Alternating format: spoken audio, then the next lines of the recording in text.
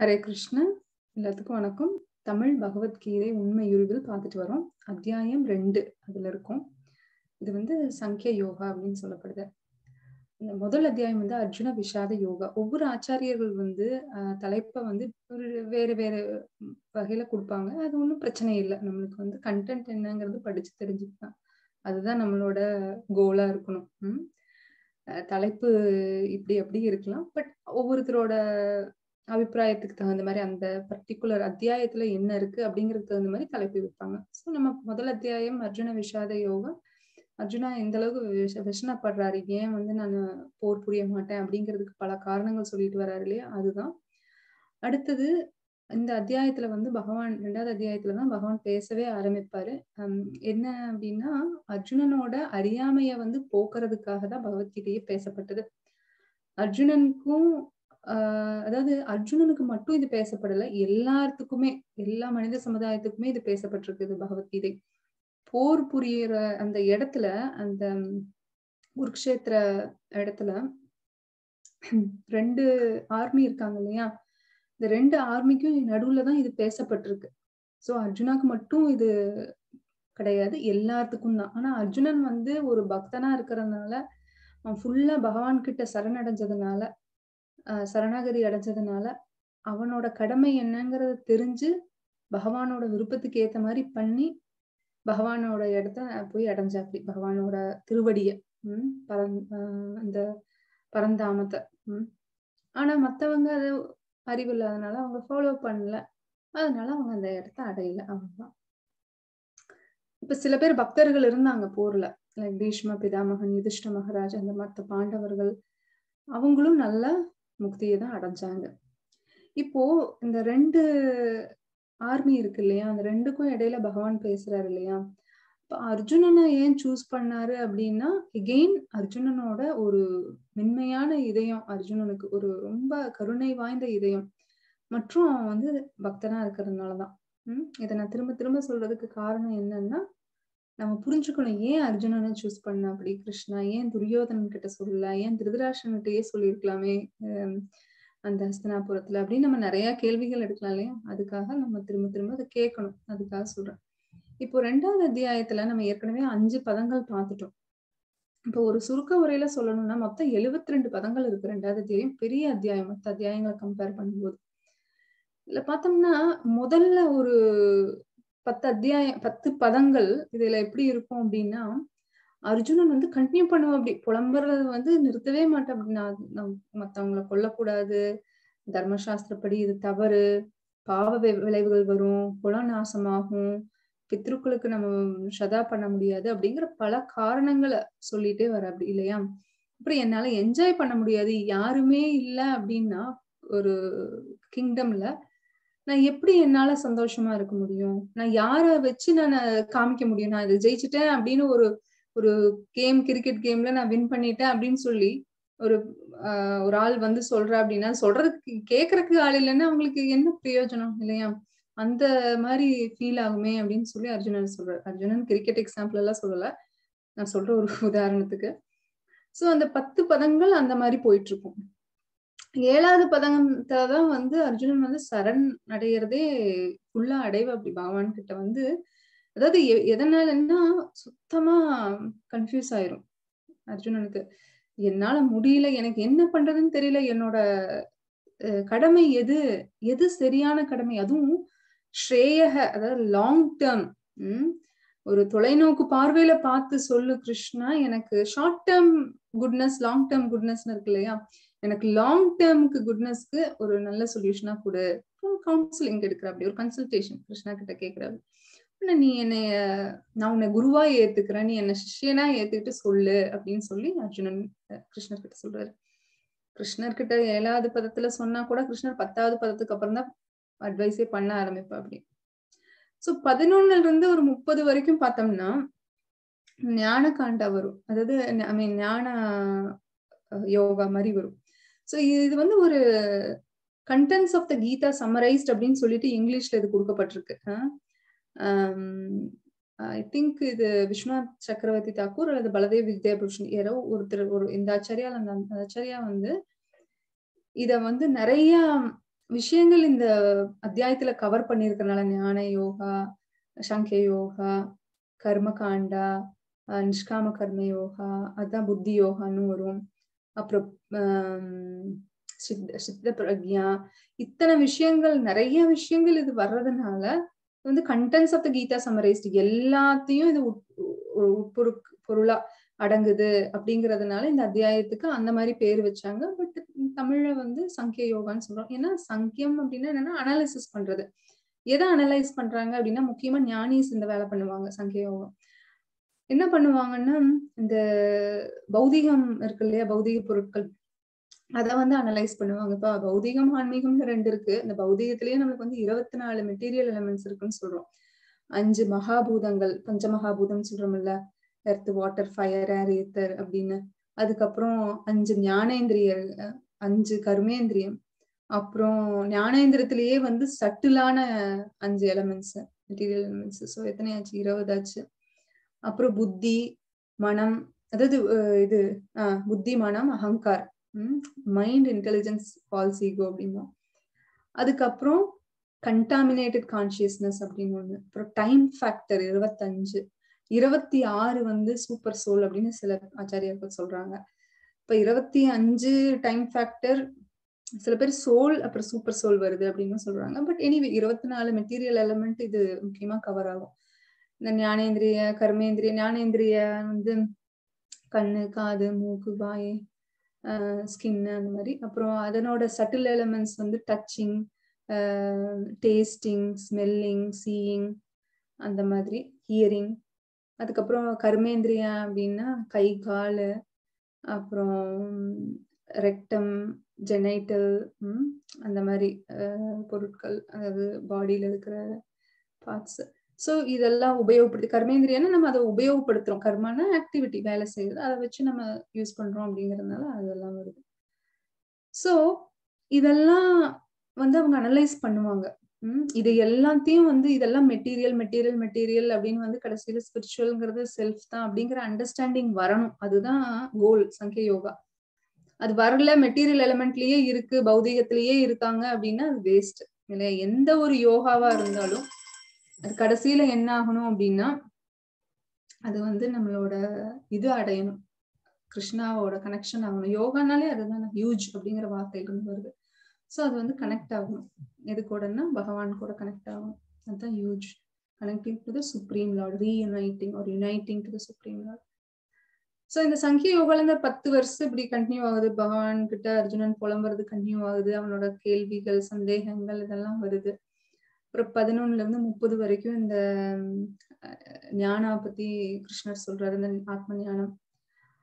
அத கொடுத்து நீ வந்து ஃபைட் பண்ணு நீ போர் புரியணும் அப்படின்னு சொல்லுவார். இதுல எல்லாமே சொல்லி நீ போர் புரி.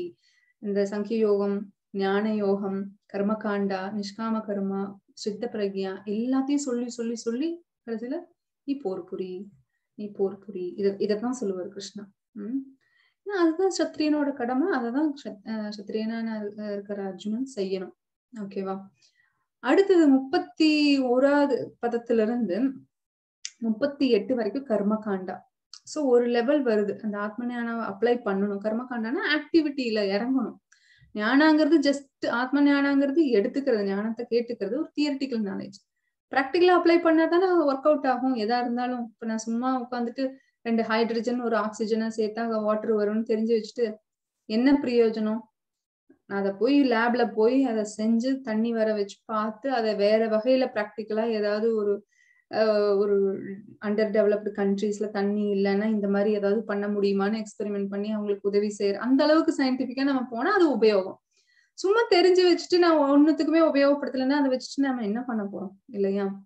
சோ um, அந்த மாதிரி இந்த கர்மகாண்டாங்கிறது ஒரு ப்ராக்டிக்கல் அப்ளிகேஷன் அந்த ஆத்ம ஞானம் கிடைச்சதுக்கு அப்புறம் ப்ராக்டிக்கலா அப்ளை பண்ணும். சோ இதுல பார்த்தோம்னா என்னன்னா ஒரு கடமையை செஞ்சோம்னா நம்மளோட தர்ம பிரகாரம் நம்மளோட கடமை என்னவோ சாஸ்திரத்துல ஒவ்வொருத்தருக்கும் ஒவ்வொரு கடமைகள் இருக்கு இல்லையா? இந்த பிராமணாஸ் சத்ரியாஸ் வைஷ்யாஸ் சூத்ரன். அவங்கவுங்களோட கடமைகளை அந்தந்த மாதிரி கொடுக்கப்பட்ட மாதிரி செய்யும் போது என்ன ஆகும்னா அவங்க வந்து சொர்க்கத்துக்கு போவாங்க. இல்லையா? இது கர்மகாண்டா வந்து கரெக்டா ஃபாலோ பண்ணாங்கன்னா அவங்க வந்து இறந்ததுக்கு அப்புறம் ஹையர் பிளானட்ஸ் போவாங்க. சொர்க்கலோகம் அதுல அடங்கும். அப்போ அது ஒரு பிளஷர் இப்ப நீ நம்ம வந்து சாஸ்திர பிரகாரம் நான் வாழ்க்கையை நடத்தும் போதும் நம்மளுக்கு வாழ்க்கை நல்லா இருக்கும். ஏன்னா எந்த மனக்குழப்பம் இருக்காது சங்கடம் இருக்காது. இந்த கில்ட் கான்சியஸ்னஸ் சொல்றோம் பாத்தீங்களா? அது மாதிரி இருக்காது. ஏன்னா தவறு பண்ணல. பாவங்கள் செய்யல. கரெக்டா பண்ணிட்டு வரோம். ஆனா அது வந்து பக்தி கிடையாது. ஜஸ்ட் நான் சாஸ்திர பிரகாரம் எனக்கு இது நல்லதுன்னு சாஸ்திரம் சொல்லியிருக்கு இது நான் பண்றேன். அந்த அளவுக்கு தான் அந்த நாலேஜ் இருக்கும். அந்த பக்தி எல்லாம் அங்க இல்ல. சோ அப்போ என்ன ஆகும்னா மெட்டீரியல் கெயினும் கிடைக்கும்னு கிருஷ்ணா சொல்லுவார். அந்த முப்பத்தி ஒண்ணுல இருந்து முப்பத்தி எட்டு பதத்துல நீ வந்து ஃபைட் பண்ணும்போது உனக்கு கிங்டம் கிடைக்கும். நீ ஃபைட் பண்ணீனா வின் பண்ணீனா கிங்டம் கிடைக்கும். இல்ல நீ இறந்துட்டேனாலும் நீ ஹெவன்லி பிளானட்ஸ் போயிருவேன் ஏன்னா சத்திரியர்கள் எல்லாம் இறக்குறாங்க போர்ல அப்படின்னா அவங்களுக்கு அடுத்தது வந்து ஹெவன்லி பிளானட்ஸ் போயிருவாங்க. ஏன்னா அவங்க நாட்டுக்காக உயிரை கொடுத்துருக்காங்க. ஓகேவா இந்த இது சோல்ஜர்ஸ் இருக்காங்கல்ல நம்ம லோக்கல் ஆர்மி அவங்களுக்கும் இந்த மாதிரி ஒரு பலன் கிடைக்கும். ஏன்னா அவங்களும் நாட்டுக்காக உழைக்கிறாங்க. ஸோ அவங்களுக்கும் இந்த பலன்கள் கிடைக்கும். அடுத்தது இதே வந்து நான் ஃபைட் பண்ணல அப்படின்னா என்ன ஆகும்னா மானக்கேடு. அதான் கிருஷ்ணர் அர்ஜுனன் கிட்ட சொல்றாரு. இது ரொம்ப கேவலமா இருக்கும். நீ ஒரு சத்திரியனா இருக்க. அப்புறம் எங்கோட வேற இருக்க. நீ என் மானத்தையும் சேர்த்து கெடுத்துருவியே. அதனால நீ ஒழுங்கா போர் புரி அப்படிம்பாரு. முப்பத்தி ஒன்பதுல இருந்து ஐம்பத்தி மூணு வரைக்கும் கிருஷ்ணர் வந்து நிஷ்காம கர்ம யோகா சொல்லுவார். புத்தி யோகா நிஷ்காம கர்ம யோகா பக்தி யோகா. இதெல்லாமே ஒரு வகையில உண்மைதான் அப்படிங்கறது வந்து இந்த பாட்டுல நம்ம பார்ப்போம். என்னன்னா நிஷ்காம கர்ம யோகாவையே ரெண்டு விதமா நம்ம பார்க்கலாம். அது மேலும் நம்ம பார்ப்போம். எதுக்காக சொல்றேன்? ஒரு இன்ட்ரோடக்ஷனுக்காக காம நிஷ்காம. காமனா ஆசை விருப்பம். நிஷ்காமனா விருப்பமின்மை. எதுல அப்படின்னா பலன்கள்ல. என்ன பலன்கள்? நான் வேலை செஞ்சு வர்ற பலன்கள்ல. அதுதான் நிஷ்காம கர்ம யோகா. அந்த நிஷ்காம கர்ம யோகால எனக்கு வந்து ஒரு ஞானத்தோட நான் செய்யும் போது எனக்கு எந்த பாவ விளைவுகளும் வராது. ஏன்னா எனக்கு புரி புரிதல் இருக்கு. நான் ஏன் செய்யறேன் எனக்கு வந்து ஒர்க் நான் வேலை செய்யறேன் அதனோட பலன்களை நான் எதிர்பார்க்கல. பலன்களை நான் விட்டுறேன். அவ்வளவுதான். அது வந்து நிஷ்காம கர்ம யோகா. இன்னொரு லெவல் ஹையர் வந்து அதே தான் ஆனா நான் பலன்களை பகவான் கிருஷ்ணருக்கு கொடுக்குறேன். இவங்க வந்து பலன்களை விட்டுறாங்க. அவங்களுக்கு கவலையே இல்லை. அது எங்க போகுது? பலனே வேண்டாம் எனக்கு. நான் வேலையை என்னோட கடமையை செஞ்சாரு அதோட முடிஞ்சது பலன் எனக்கு. எந்த பலனும் எனக்கு வேண்டாம். நான் அதுல விருப்பத்தை நான் தெரிவிக்கல. வருது வராது ரெண்டாவது. ஆமா நான் வேலை செஞ்சேன்னா எனக்கு பணம் கொடுக்குறாங்கன்னா அது வருது. ஆனா அதையே நான் ஃபோக்கஸா சென்ட்ரு சென்ட்ரல் பாயிண்டா நான் வச்சு நான் வேலை செய்யல. அந்த கான்சியஸ்னஸ் எல்லாமே கான்சியஸ்னஸ் தான். பக்திங்கிறது எல்லாமே நம்மளோட மனநிலை தான். இல்லையா? அப்போ ஒரு உதாரணம் கூட இந்த கதை கூட சொல்லியிருப்போம் ஒரு ஒரு பக்தர் வந்து ரொம்ப ஏழை அவருக்கு பணம் இல்லை. ஆனா அவரு வந்து பகவானுக்கு வந்து ஒவ்வொரு நாளும் மனதளவிலேயே தியானம் பண்ணி மனதாலேயே வந்து அவர் பகவானுக்கு படைப்பார் எல்லாமே. அப்போ ஒரு முறை சக்கரை பொங்கல் செய்யும் போது அது சூடா இருக்கா? அத பகவானுக்கு நான் பண்ணணுமே நைவேத்தியம். அதை வந்து பண்ணி பகவானோட நாக்கு சுற்றக்கூடாதே அப்படின்னு சொல்லிட்டு சுற்று சுற்றுச்சான் ஐ மீன் சுடுமே அப்படின்னு சொல்லிட்டு தொட்டு பார்க்கும்போது அவர் கையில விரல சுட்டு வச்சிடும் அப்ப மேல நாராயணா சிரிப்பாரு லக்ஷ்மி தேவி கேட்பாங்க என்ன மேட்ரு நாராயணா? நீங்க பாட்டுக்கு தனியா சிரிச்சிட்டு இருக்கீங்க அப்படின்னு என்னோட பக்தன் கீழே எனக்கு ஆஃபர் பண்ணிட்டு இருப்பான் ஒவ்வொரு நாளும் நான் அக்செப்ட் பண்ணிக்குவேன். ஆனா நான் அக்செப்ட் பண்ணிட்டேன்னு சொல்லி ஒரு தடவைனாவது நான் சொல்லணுமே. அதுக்காக தான் நான் இப்ப உண்மையாவே சுட்டு வச்சுட்டுன்னு அந்த பக்தர் கை விரலை பார்த்தா உண்மையாவே ரெட்னஸ் ஆயிருக்கும் அப்போ அவரு சிரிச்சிட்டு அப்போ உடனே அவரோட கருட வாகனத்துல வந்து பகவான் பக்தனை கூட்டிட்டு போயிடுவார் வைகுந்தல நான் போதும்பா நீ பக்தி பண்ணது எதுவுமே இல்லாம கூட நீ பக்தி பண்ற. நம்ம வந்து இருந்தாலுமே நம்ம பக்தி பண்ண மாட்டோம். ஸோ இந்த மாதிரி சில கதைகளை கேட்கும் போது நம்மளும் அதில் இன்ஸ்பயர் ஆகி நம்மளும் ஃபாலோ பண்ணணும் இல்லையா? அது ஒண்ணுமே இல்லாட்டி கூட நம்ம ஆஃபர் பண்றது. இப்ப நம்ம கோயிலுக்கே போக முடியல. ஆனா மனதளவுல போன மாதிரி நம்ம இது பண்றோம். இப்ப அதே பலன் தான் நமக்கு கிடைக்கும். அடுத்தது இந்த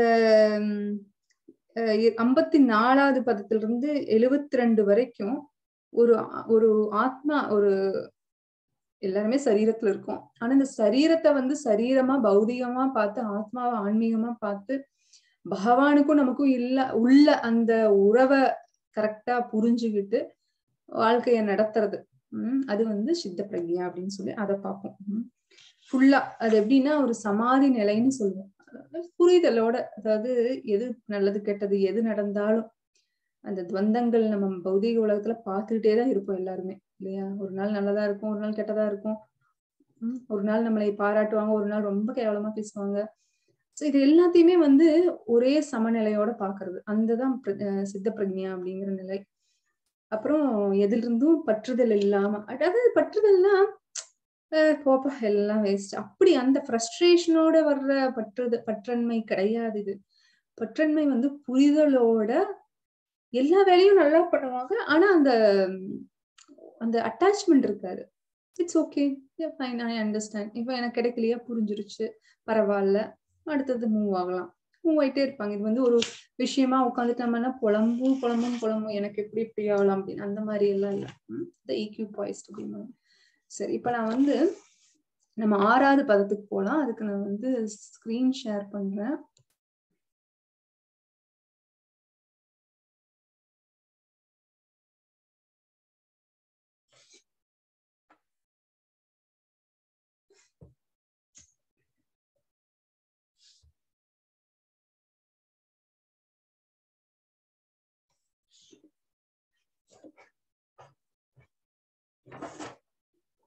இதுல நான் வந்து தமிழ்லயும் ஷேர் பண்ணுங்க இங்கிலீஷ்ல ஷேர் பண்றது பதுவா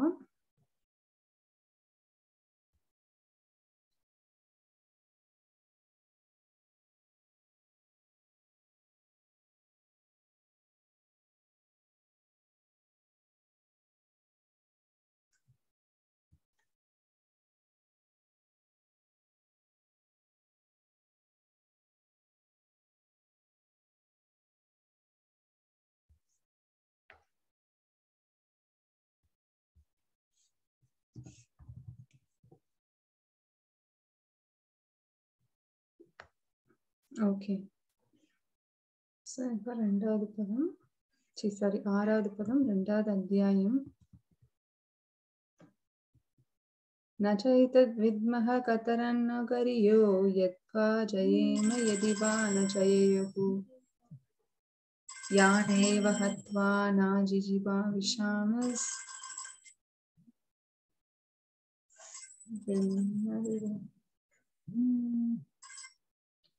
தேவாஷ்டிதாக பிரமுக திருதராஷ்டிரக ஸோ மறுபடியும் நான் படிக்கிறேன் நாச்சைதத் வித்மாக கதரன்ன கரீயோ யத்வா ஜயமே யதி வானு ஜயேயுः யானேவ ஹத்வான ஜிஜிவிஷ்யாமஸ் தேவஸ்திதாக பிரமுகதாதராஷ்டிரக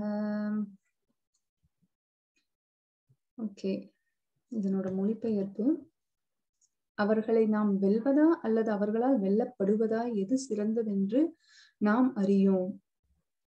யாரை கொன்றால் நாம் வாழ விரும்ப மாட்டோமோ அந்த திருதராஷ்டிரரின் மகன்கள் இப்பொழுது நம் முன்பு போர்க்களத்தில் நிற்கின்றனர். இது போன வாரமே நல்லா விவரமா பார்த்தோம் இல்லையா? நான் ரெடியா இல்ல. கொள்றதுக்கு யாரையும் கொள்றதுக்கு நான் ரெடியா இல்ல. ஆனா அவங்க ரெடியா இருக்காங்க. நான் ரெடியா இருந்தாலும் சரி இல்லாட்டியும் சரி அவங்க என்ன கொள்றதுக்கு ரெடியா இருக்காங்க. ஓகேவா அப்போ எது கரெக்ட் அவங்கள நான் வெல்றதா? ஆஹ் இல்ல இல்லது அல்லது அவர்களை விட்டுறதா நம்மள வெல்றதுக்கு? எது எது கரெக்ட் இப்ப சத்திரியன்னா தெளிவா தெரியும் நம்ம தான் வெல்லணும். இப்ப நம்ம ஒரு நாட்டை கான்கோர் பண்றது நம்மளோட கடமை. இப்ப நான் சத்திரியன் அப்படின்னா நான் அததான் பண்ணணும். இதுல எந்த சந்தேகமும் இல்ல. ஏன் சந்தேகப்படுறாரு அர்ஜுனன் அப்படின்னா கருணையோட இதயத்துல இருக்கிறதுனால அவங்கள சொந்தக்காரங்க உறவுக்காரங்களா இருக்கிறதுனால ஆச்சாரியர்களா இருக்கிறதுனால ஆசிரியர்கள் இருக்கிறதுனால பிதாமகன் இருக்கிறதுனால உம் மாமனாரோட ஸ்தானத்துல சில பேர் இருக்கிறதுனால மகன்கள் ஸ்தானத்துல சில பேர் மருமகன்கள் ஸ்தானத்துல சில பேர். இந்த மாதிரி இருக்கும்போது இப்ப யாரோ ஒருத்தர் எதிரி அப்படின்னு சொல்லி கொள்றதுங்கிறது வேற. ஆனா எல்லாருமே நம்ம பெரியப்பா சித்தப்பா மாமா ஆஹ் எல்லாருமே நம்ம சொந்தக்காரங்க எதுக்கால இருக்கும்போது ஆனா அவங்க தயாரா தான் இருக்காங்க. அவங்க எந்த ஒரு கூச்சமும் பார்க்கல. அவங்க ரெடியா தான் இருக்காங்க கொள்றதுக்கு ஆனா என்னால அப்படி பண்ண முடியலையே. எனக்கு குழப்பமா இருக்கு. இது வந்து வெரி இம்பார்ட்டன்ட் பாயிண்ட் என்ன அப்படின்னா குழப்பம். ஏன்னா நம்ம வந்து குழப்பமா இருக்கும் போதுதான் நம்ம வந்து ஒரு விடிவை தேடி போவோம் இல்லையா? நம்ம வந்து ஒரு சொல்யூஷனை தேடி போவோம். ஒரு கவுன்சிலிங்க்கு போவோம். கன்சல்டேஷனுக்கு போவோம். இப்ப நம்மளுக்கு பிடிச்ச ஆள்கிட்டயோ அதாவது யாரு வந்து கரெக்டா சொல்லுவாங்க? இப்ப சில பேர் என்ன பண்ணுவாங்க தெரியுமா? நாலு பேர்த்துக்கிட்ட கேட்பாங்க. அந்த நாலு பேர்த்துல யாரு நமக்கு தேவையான ஆன்சர் சொல்றாங்களோ அதை யூஸ் பண்ணிட்டு கிளம்பி போயிட்டே இருப்பாங்க. கேட்டா நான் கன்சல்ட் பண்ணேன். இந்த மாதிரி சொன்னாங்க அதனால பண்றேன். அது கரெக்ட் கிடையாது. நமக்கே தெரியும். எது உண்மையாவே சரி யாரு உண்மையாவே சரியா சொல்லுவாங்கன்னு நமக்கே தெரியும். நம்ம நாலு பேர்கிட்ட கேட்டு டைம் வேஸ்ட் பண்றதை விட நம்ம நல்லா யோசிச்சோம்னா இன்ஃபேக்ட் நம்ம கிருஷ்ணா கிட்ட கேட்டோம்னா பரமாத்மா கிருஷ்ணா உள்ள இருக்காரு எல்லா இதயத்திலையும். குழப்பமான சமயத்துல பகவான் கிருஷ்ணர்கிட்ட நம்ம ப்ரே பண்ணிக்கணும். ப்ரே பண்ணி எனக்கு உங்களோட ரெப்ரசன்டேட்டிவ் எனக்கு அனுப்புங்க. எனக்கு இந்த இந்த ரொம்ப குழப்பமா இருக்கு. எனக்கு இது புரிஞ்சிருக்கிறதுக்கு எனக்கு ஏற்பாடு செய்யுங்க. அப்படின்னா பகவானுக்கு என்ன வேலை? நமக்கு எல்லாத்துக்கும் ஹெல்ப் பண்றதுதான் அவரோட வேலை. ஒரு தந்தைக்கு என்ன வேலை? தன்னோட மகனை வந்து பாதுகாக்கிறது பாத்துக்கிறது எப்பவும் கூடவே இருந்து கைட் பண்றது இல்லையா அதுல எந்த ஒரு டீவியேஷனும் இருக்காது பகவானுக்கு நம்ம கேட்கும் போது இன்னுமே இன்ட்ரெஸ்டோட பண்ணுவாரு கேட்காமயே பண்றாருன்னா கேட்கும் போது எவ்வளவு பண்ணுவார் இல்லையா சரி அடுத்தது ஏழாவது பதம் பார்ப்போம்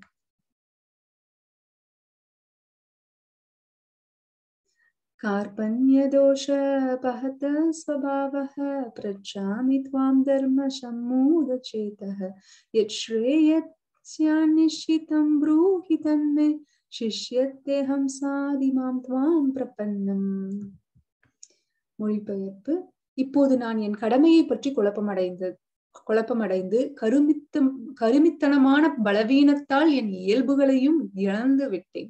இந்நிலையில் எனக்கு நல்லது எது என்று நிச்சயமாக கூறும்படி உம்மை கேட்டுக்கொள்கிறேன். இப்போது உம்மிடம் சரணடைந்த சீடன் நான் அருள் கூர்ந்து எனக்கு அறிவுரை கூறுவாயாக கிருஷ்ணா கூறுவீராக. உம் சோ அர்ஜுனன் இந்த ஸ்டேஜ்ல இப்பத்தான் சிஷ்யத்தேகம் சாதி மாம் துவாம் பிரபன்னம் நான் சிஷ்யனா சீடனா உமது சீடனா நான் வர சரணடைகிறேன். எனக்கு வந்து நீங்க அட்வைஸ் பண்ணுங்க. எனக்கு நீங்க கன்சல்டேஷன் கொடுங்க கவுன்சிலிங் கொடுங்க. ஏன்னா எனக்கு தெரியல. இப்போ என்னோட கடமை சத்திரியனோட கடமை எனக்கு தெரியும். என்னன்னா ஃபைட் பண்றது. ஆனா சத்திரியனோட கடமை ஒண்ணுன்னு இருந்தாலும் நான் உறவினராச்சு. அந்த கடமை என்ன பாதிக்குது. அந்த தாட் ஆஃப் அந்த டியூட்டி இருக்கு இல்லையா? நான் உறவினரா இருக்கும்போது அவங்கள ப்ரொடெக்ட் பண்ணணுமே. அவங்களும் பிரஜைகள். உறவினர்கள். அதுவும் பிரஜைகள்ங்கிறத விட உறவினர்கள். அவங்கள நான் வந்து பாதுகாக்கணும். அப்ப எனக்கு புரியலையே என்னோட கடமை எதுன்னு. இதுவா அதுவா? சோ அதனால பிரிச்சாமி. பிரிச்சாமின்னா நான் கேக்குறேன். உம் உங்ககிட்ட. சம்மூதக சம்மூதகன்னா குழப்பம். உம் மூடம் மூடன்னா தெரியும்ல அறியாமை சம்மூடக அந்த இடத்துல வந்து குழம்பி அப்படிங்கிற அர்த்தம் இருக்கு. இந்த கான்டெக்ட்க்கு அதனால எனக்கு எது நல்லது? ஸ்ரேயக லாங் டேர்ம் குட்னஸ் என்ன கிருஷ்ணா? எனக்கு சும்மா இப்ப ஷார்ட் டேர்மா இப்ப ரெண்டு நாளைக்கு மட்டும் தேவையான அளவு கவுன்சிலிங் கொடுக்காத எனக்கு உண்மையாவே லாங் டேர்ம்னா என்ன? இந்த ஆத்மா வந்து இந்த சரீரத்துட்டு போனா கூட அது நல்லதா இருக்கணும் எப்போ எனக்கு ஆத்மாவாகி எனக்கு அது நல்லதா இருக்கும். ஆனா இந்த ஸ்டேஜ்ல அந்த அளவுக்கு திங்க் பண்ணல அர்ஜுனா. இன்னும் ஆத்ம ஞானமே இன்னும் அர்ஜுனனுக்கு வராத மாதிரிதான் இப்ப நம்மளுக்கு போயிட்டு இருக்கு கதை இல்லையா? அதுக்கப்புறம் தான் கிருஷ்ணர் ஆத்ம ஞானமே கொடுக்க போறாரு.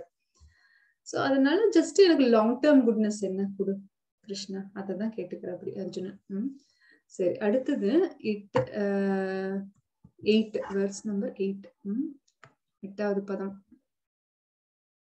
இப்போ நம்ம என்ன தெரிஞ்சுக்கணும்னா நம்மளுக்கு குரு வேணும்.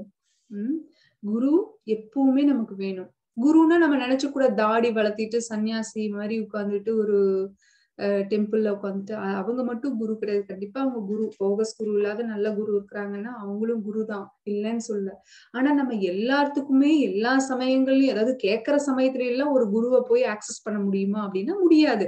அதுக்கு நம்ம டிக்கெட் போட்டு அந்த ஊருக்கு போகணும். அந்த அவர் பெரிய குருவா இருந்தா அவர்கிட்ட அப்பாயின்மெண்ட் வாங்கணும். அதுக்கப்புறம் நம்ம அவரு அப்பாயின்மெண்ட் கொடுத்து நம்ம பேசணும் பிடிக்கணும் அப்புறம் அவர் நம்மளை நம்மளுக்கு அட்வைஸ் பண்ணணும் அப்படிங்கிற ஒரு பெரிய ப்ராசஸ் இருக்கு இல்லையா? ஆனா குருவோட ரெப்ரசன்டேட்டிவ்ஸ் வந்து நம்மளுக்கு ஆக்சசபிளா இருப்பாங்க. அவங்க பேரு சீக்ஷா குரு அப்படின்னு. சீக்ஷா குருன்னா நம்மளுக்கு நிறைய பேர் இருக்கலாம். அதாவது நம்மளோட கேள்விகளுக்கு ஆன்மீக கேள்விகளுக்கு அந்த ஞானத்தை கொடுக்கறவங்க சீக்ஷா குரு. அவங்க வந்து தன்னோட சொந்த கதை சோக கதை சுய கதை எல்லாம் சொல்லக்கூடாது. அவங்க வந்து சாஸ்திரம் என்ன சொல்லுதோ அதனோட இதை அவங்க ஃபாலோ பண்ணணும் வாழ்க்கையில. அத வந்து நமக்கு பயன்படுற மாதிரி பயன்படக்கூடிய புரிதலோட அந்த வகையில நமக்கு சொல்லி கொடுக்கணும். இல்லையா? சும்மா ஆஹ் ஏனோ தானோன்னெல்லாம் நம்ம போய் யாரோ ஒருத்தர்கிட்ட போய் எல்லாம் கேட்கக்கூடாது. யாரு சாஸ்திரப்படி வாழ்றாங்களோ யாரு சாஸ்திரத்தை கடைபிடிக்கிறாங்களோ யாரு சாஸ்திரத்தை மட்டும் உதாரணமா வச்சு சொல்றாங்களோ சில சமயங்கள்ல நம்ம உதாரணங்கள் வந்து ரொம்ப கேஷுவலான உதாரணங்கள் நம்ம சொல்லலாம். உம் ரொம்ப இப்போ நேற்றுக்கு பஸ்ல வந்தேன். இப்ப இப்படி நடந்தது. அதுக்கு வந்து நான் இந்த பாடத்தை கத்துக்கிட்டேன். இல்ல நான் அந்த பாடத்தை அவங்களுக்கு சொல்லி கொடுத்தேன். ஆன்மீக பாடத்தை அப்படிங்கறதெல்லாம் ஓகே அதுவும் நல்லதுதான். அது இன்ஃபேக்ட் இன்னுமே ப்ராக்டிக்கலா இருக்கும். பட் அதை மட்டும் சொல்லிட்டு சாஸ்திரம் சொல்றத சொல்லாம விட்டுட்டா அதுவும் நல்லது கிடையாது. சோ நம்ம ரெண்டையும் சேர்த்து ஒரு புரிதலோட மத்தவங்களுக்கு சொல்லி கொடுக்கும்போது யாரு கேக்குறாங்களோ அவங்களுக்கு சொல்லும் போது அவங்களுக்கு இன்னும் அண்டர்ஸ்டாண்டிங் பண்றதுக்கும் அப்ளை பண்றதுக்கும் ஈஸியா இருக்கும் ப்ராக்டிக்கலா ஓகேவா ரெண்டாவது. எட்டாவது பதம் அடுத்தது பார்ப்போம் நஹி பிரபஷ்யாமி மமாபனுத்யாத் யச்சோகம் யுச்சோஷனம் இந்திரியானாம். அவாப்பிய பூமா வசபத்னம் மிருதம் ராஜ்யம் சூரனாம் அபி சாதிபத்யம் மொழிபெயர்ப்பு என் புலன்களை வரட்டுகின்ற இந்த சோகத்தை பார்க்க ஒரு வழியையும் என்னால் காண முடியவில்லை. மேலுலகில் அதிபதியாக இருக்கும் தேவர்களைப் போல எவ்வித எதிரியும் இல்லாத பலமான ராஜ்யத்தை இப்பூவுலகில் நான் அடைய பெற்றாலும் இந்த சோக நிலையினை என்னால் அகற்ற முடியாது. உம் இப்போ ராஜ்யத்தை வந்து இங்க வந்து ராஜ்யம் கிடைச்சாலும் சரி ஆஹ் நான் மேலுலகத்துக்கு அதிபதியாக இருக்கிற தேவர்களை போல எவ்வித எதிரியும் இல்லாத பலமான ராஜ அதாவது இங்க வந்து புலன்களை வரட்டுகின்ற இந்த சோகத்தை போக்க ஒரு வழியும் என்னால் காண முடியவில்லை. இப்போ எனக்கு வந்து இப்போ சோகமா இருக்கு. எனக்கு கன்ஃபியூஷனா இருக்கு ஃபர்ஸ்ட் அதுக்கப்புறம் சோகமாவும் இருக்கு. எனக்கு குழப்பம் இருக்கு சோகமும் இருக்கு. ஓகே இது எப்படி போக்கும் போக்கும் போகும்னு எனக்கு தெரியல. இதான் கிருஷ்ணன் இப்போ அர்ஜுனன் இன்னும் கன்ஃபியூஷன்ல தான் இருக்கு அப்படி சரண்டர் ஆயிட்டாரு ஆனா கிருஷ்ணர் சரணடைஞ்சோடனே உடனே சரி வா. ஏன்னா ஆல்ரெடி அவங்க ஃப்ரெண்ட்ஸ் மாதிரி தான் போயிட்டு இருக்கு ரெண்டு பேரும் அத்தை பையன் மாம பையன் ஜாலியா ஃப்ரெண்ட்ஸ் மாதிரி தான் போயிட்டு இருந்தாங்க அர்ஜுனன் வந்து நல்லா கிண்டல் பண்ணுவா அப்படி. கிருஷ்ணாவ ஆஹ் பெட்ல ரெண்டு பேரும் ஒரே பெட்ல படுத்திருப்பாங்க படுப்பாங்க ஒரே தட்டத்துல சாப்பிடுவாங்க. இதெல்லாம் ஸ்ரீமத் பாகவதத்துல வரும். அப்போ அப்போ ஒரு தடவை ராஜ்யத்தை வந்து ஆஹ் ராஜ்யம் இல்ல சாரி அஹ் அர்ஜுனன் வந்து ஒரு தடவை புலம்புவா அப்படி. கிருஷ்ணர் வந்து கிளம்பி போயிருவாரு. உம் அப்போ வந்து புலம்புவாரு. என்னன்னா ஐயோ நான் நீ இவ்ளோ பெரிய ஆளாச்சே நீ பகவான் ஆச்சே நான் உன்னை அப்படி கிண்டல் பண்ணியிருக்கிறனே கேவலப்படுத்தி இருக்கிறனே எல்லாத்துக்கு முன்னாடி இன்சல்ட் பண்ணியிருக்கிறனே நீ ஒரு அப்பா மகனை மன்னிக்கிற மாதிரி மன்னிக்க மாட்டையா? அப்படின்னு சொல்லி அர்ஜுனன் கேட்பாப்படி அப்புறம் இன்னொரு இடத்துல ஒரு பதத்துல வரும் அழகான பதத்துல வரும். அர்ஜுனன் சொல்லுவா அப்படி நான் வந்து ஆஹ் பகவத்கீதையில வந்து போர் புரிஞ்சு கிருஷ்ணரே சொல்லுவா அப்படி நிமித்த மாத்திரம் அப்படின்னு ஒரு இதுல வரும். என்னோட இன்ஸ்ட்ரக்ஷன் படி நீ இன்ஸ்ட்ருமெண்டா இருந்து இந்த வேலையை செய் டியூட்டியை செய்யும் உனக்கு என்ன கிடைக்கும்னா புகழ் கிடைக்கும். இந்த கொலையெல்லாம் அதாவது போர்ல வந்து எல்லா அதர்மிகளையும் வென்ற வென்றவன் அப்படிங்கிற நல்ல புகழும் கிடைக்கும் பேரும் கிடைக்கும். நீ பண்ணினா எதை பண்ணி நான் சொல்றத பண்ணினா. பண்ணாம போனேன்னா உனக்கு அவமான பேர் மட்டும் இல்ல உனக்கு எந்த ஒரு நன்மையுமே கிடைக்காது அதுல. ஒரு ராஜ்யமும் இல்ல. சொர்க்கலோகத்துக்கும் போக மாட்டேன். சொர்க்கலோகம் எல்லாம் லோ கிளாஸ் தான் இல்லையா? நமக்கு பகவானோட ஆன்மீக லோகத்தை கம்பேர் பண்றதுக்கு இந்த சொர்க்கலோகம் எல்லாம் வெரி லோ கிளாஸ் சோ அதுவும் கிடைக்காது. அப்புறம் எங்க போய் ஆன்மீக லோகம் கிடைக்க போகுது? சொர்க்கலோகமே கிடைக்கலன்னா. சோ அந்த மாதிரி கிருஷ்ணர் வந்து அர்ஜுனனை வந்து ஃபைட் பண்ணணும் அப்படின்னு சொல்லி இது வந்து உன்னோட நல்லதுக்கு தான். நீ அதர்மிகளை கொள்ற ஆல்ரெடி நான் கொன்னுட்டேன். நீ போர்ல சேர்ந்தாலும் சரி சேராட்டி சரி அவங்க சாக போறாங்க. தர்மம் வெளில போகுது. ஆனா நீ வந்து பண்ணுன அப்படின்னா இந்த வேலையை பண்ணுன அப்படின்னா உனக்கு புகழ் கிடைக்கும் அப்படின்னு எல்லாம் சொல்லியிருப்ப அப்படி. ஆனா அர்ஜுனனுக்கு புகழுக்காக இல்ல. ஆனா கிருஷ்ணரோட இன்ஸ்ட்ரக்ஷன் அப்படிங்கறக்காக நான் பண்றேன். அப்படின்னு சொல்லி பண்ணுவோம். நீ சொல்றத நான் செய்யறேன் அப்படின்னு கிருஷ்ணருக்காக அர்ஜுனன் செய்வோம் கடைசியில அந்த மாதிரிதான் நம்மளும் இருக்கணும். நம்ம வந்து எல்லாமே நல்லதாவே நடக்கும் அப்படின்னு சொல்லி பார்த்து நம்ம பண்ணக்கூடாது. ஏன்னா சில விஷயங்கள் பாக்குறதுக்கு கெடுதலா நடக்கிற மாதிரி தெரிஞ்சா கூட அது கிருஷ்ணரோட பார்வையில எல்லாமே நல்லதுதான். சோ நம்ம அதை புரிஞ்சுக்கணும். அதுக்கப்புறம் அந்த அர்ஜுனன் வந்து என்ன குழம்பு அப்படின்னா நான் வந்து போர் புரியும் போது அவ்வளவு ஒரு ஹீரோ மாதிரி எல்லாத்தையும் வெல்றதும் இந்த கர்ணன் வந்து அந்த வில்ல இது பண்ணும்போது தலைக்கு வந்தது தலைப்பாகையோட போச்சு அப்படின்னு சொல்லுவாங்க இல்லையா? கிருஷ்ணர் உடனே ஆஹ் யூனோ அந்த தேர்ல இருந்து இறங்க சொன்னதும் அப்ப வந்து ஆஹ் வில்லு படாம இருக்கும் அர்ஜுனன் மேல. அதுக்கப்புறம் அந்த அர்ஜுனன் கிருஷ்ணர் இருக்கிறதுனாலதான் அந்த தேர்ல நிறைய இடத்துல வந்து அம்புகள் எய்து.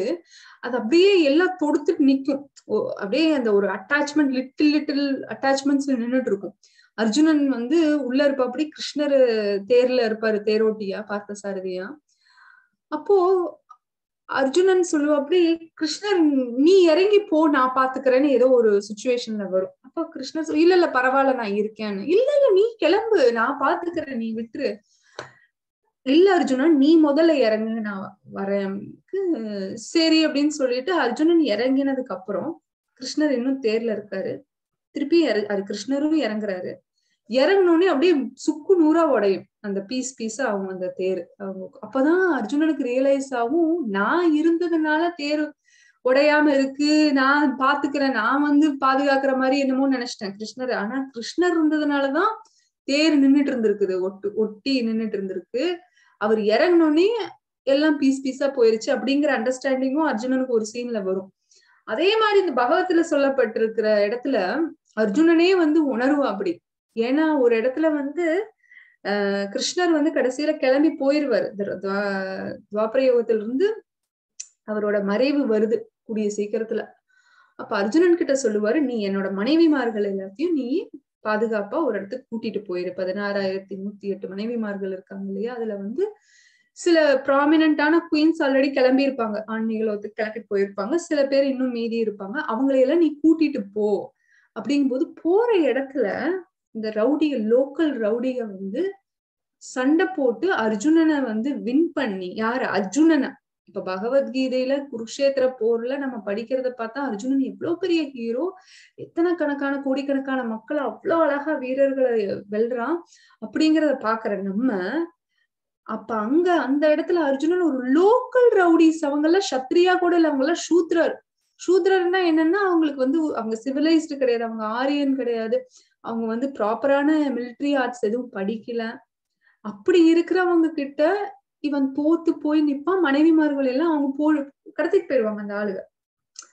சோ இந்த அவமானத்தை நினைக்கும் போது ரொம்ப ரொம்ப கேவலமா கூடி கூடி இருப்ப அப்படி. அப்ப சொல்லுவா அப்படி அர்ஜுனன் வந்து புரியுது எனக்கு கிருஷ்ணன். நீ இருந்ததுனால நான் வெற்றி அடைஞ்சேன். அந்த இடத்துல பகவத்கீதை போர் குருக்ஷேத்திர போர்ல நான் நினைச்சிட்டு என்னமோ நான் தான் பெரிய ஆளு வெற்றி பெற்றேன் ஆனா இப்பதான் எனக்கு புரியுது என்னால அது வெற்றி அடையல. நீ இருந்ததுனால நான் அந்த போர்ல வெற்றி அடைந்தேன் அப்படின்னு சொல்லி அர்ஜுனன் வந்து சொல்லுவா அப்படி. அது வந்து ஒன்னா ஃபர்ஸ்ட் சாப்டர்ல வரும். ஆஹ் இல்ல இல்ல.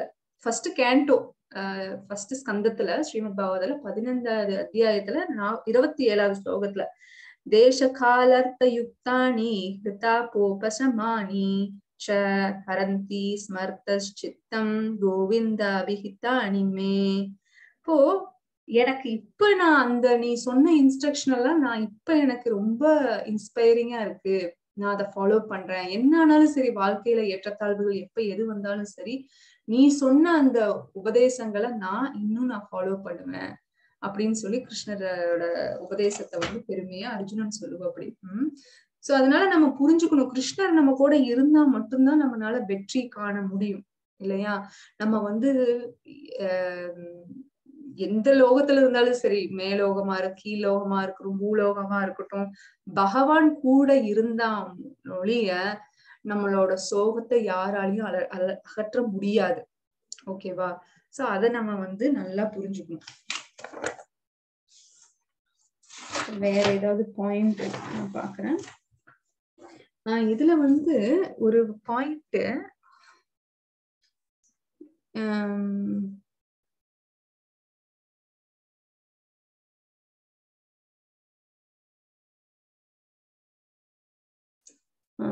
சோ நம்ம உண்மையான சந்தோஷம் நம்மளுக்கு வரணும் அப்படின்னா பகவானோட பகவத்கீதையும் பகவானை பத்தி பகவான் கூறிய பகவத்கீதையும் பகவானை பத்தி கூறப்பட்ட பகவானை பற்றி கூறப்பட்ட பகவதத்தையும் நம்ம கேட்கணும். அது மூலியமா நம்ம வந்து அந்த கன்சல்டேஷன் எடுத்துக்கணும். ஏன்னா நிறைய எக்ஸாம்பிள்ஸ் கேஸ் ஸ்டடி ஸ்டோரிஸ் நிறைய கொடுக்கப்பட்டிருக்கு இல்லையா பகவத்ல? அதுல இருந்து நம்ம எடுத்து இவங்க இந்த இடத்துல இந்த பண்ணியிருக்காங்க. அப்ப நம்ம இந்த மாதிரி நம்ம வாழ்க்கைக்கு அப்ளை பண்ணலாம் அப்படிங்கிற ஒரு புரிதலோட நம்மளால பண்ண முடியும். ஸோ அது ஒரு பாயிண்ட் அதுக்கப்புறம் வந்து யாரு வந்து போனஃபைடு குரு யாரு?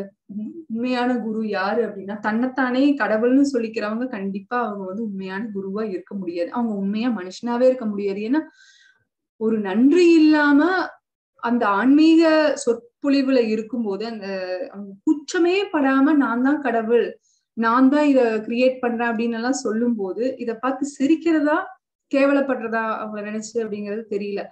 ஏன்னா அவங்களோட சுச்சுவேஷன்ல அவங்க ஒரு பிரச்சாரம் பண்றாங்க இல்ல அவங்க வந்து அவங்கள நம்பி ஒரு சில ஃபாலோவர்ஸ் இருக்காங்கன்னா உண்மைய சொல்லணும்னு ஏன் தோண மாட்டேங்குது? எப்படி அவங்கனால கடவுள்னு வாய் கூசாம சொல்ல முடியுது? பகவான் கிருஷ்ணர் அவரோட சின்ன வயசுல ஆறு வயசு கூட இருந்திருக்காது இடது கையில சின்ன விரல் இருக்கு பாத்தீங்களா? சுண்டு விரல். அதுல எவ்வளவு வீக்கா இருக்கும் நம்மளுக்கு. இடது கைனாலே வீக் அதுல சுண்டு விரல் இன்னும் வீக்கா இருக்கும். அதுல வந்து கோவர்தன மலைய தூக்கி புடிச்சு நிற்பார் ஏழு நாள் ஏழு இரவு ஏழு பகல்னு.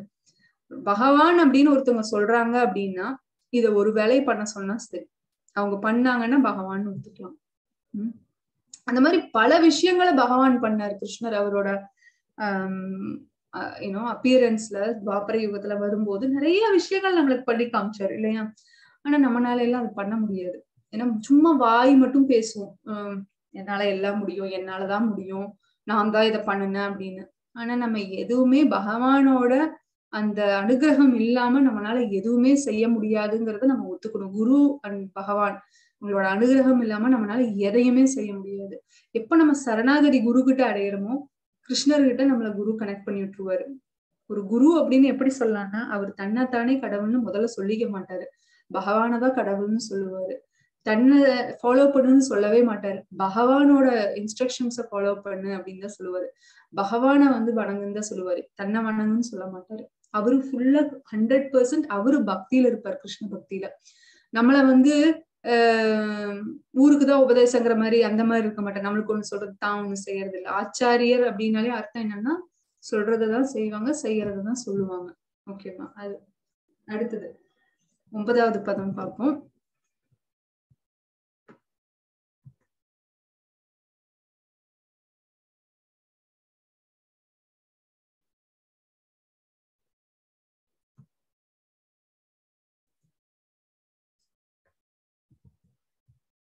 सञ्जय उवाच एवं युक्त्वा हृषीकेशं गुडाकेशः परन्तपः न योच्य इति गोविन्दं युक्त्वा तूष्णीं बभूवः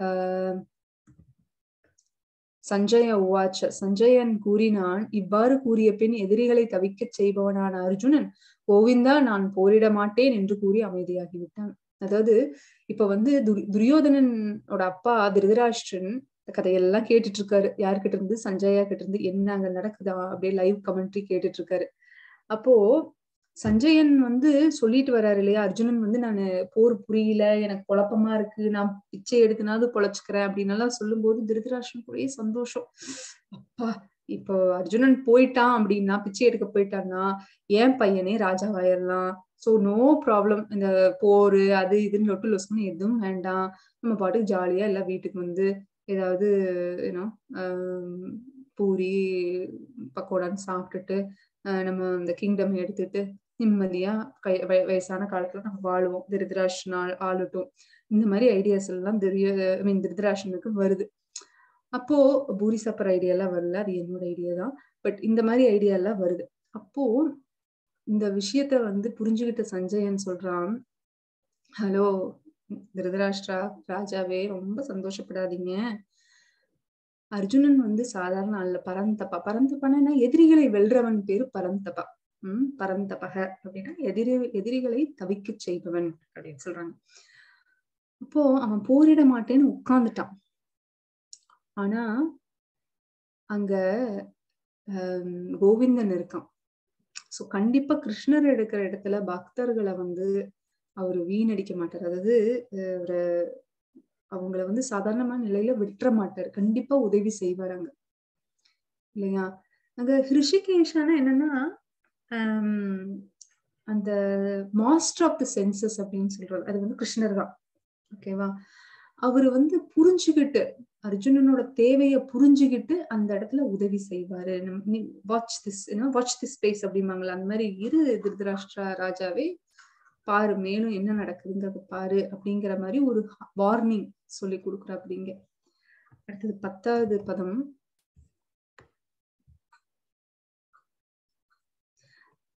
தமுவாச்ச ஹிருஷிகேஷः பிரஹாசன் இவ பாரத சேனையோருபயோர் மத்தியே விஷீதந்தம் இதம் வச்சக.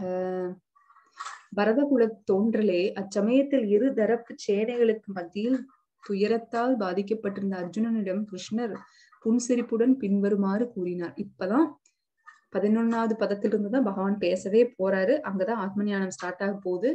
பத்தாவது பதத்துல சஞ்சயன் சொல்றான் பகவான் வந்து பிரசன்ன. பிரசன்ன அப்படின்னா ஆஹ் பிரஹசன்ன. பிரஹசன்னா அந்த சிரிக்கிறது அதாவது புன் சிரிப்பு பெக்க பெக்கன்னு சிரிக்கிறது இல்ல just smiling light little grave smiling இந்த ரெண்டு ஆர்மி இருக்கு இல்லையா ரெண்டு சேனைக்கும் நடுவுல தான் நின்றுட்டு இருக்கான் அப்ப பாக்குறாரு. அர்ஜுனன் கிட்ட பேச போறாரு. உம் அர்ஜுனன் ரொம்ப சோகமா இருக்கு அப்படி. குழப்பம் சோகம் உம் அப்புறம் சரணடைதல். இது எல்லாமே வந்து ஒரு நல்ல குவாலிபிகேஷன் எதுக்கு? அறிவுரை வர்றதுக்கு. யாருக்கிட்ட இருந்து? ஒரு அத்தாரிட்டி கிட்ட இருந்து வருது இங்க அத்தாரிட்டிங்கிறது யாரு? சுப்ரீம் அத்தாரிட்டி கிருஷ்ணாவே இருக்காரு. இப்ப வேற கவலையே இல்லை இல்லையா? சோ இனி என்ன சொல்ல போறாரு கிருஷ்ணர் ரிஷிகேஷர் அப்படிங்கறத நம்ம பார்ப்போம். இதோட இந்த ஆஹ் வகுப்பை முடிச்சுக்குவோம். அடுத்த வார்த்தை மீதியை பார்ப்போம். ஹரே கிருஷ்ணா ஹரே கிருஷ்ணா. கிருஷ்ண கிருஷ்ணா ஹரே ஹரே. ஹரே ராம ஹரே ராம. ராம ராம ஹரே ஹரே. நன்றி வணக்கம். ஹரே கிருஷ்ணா.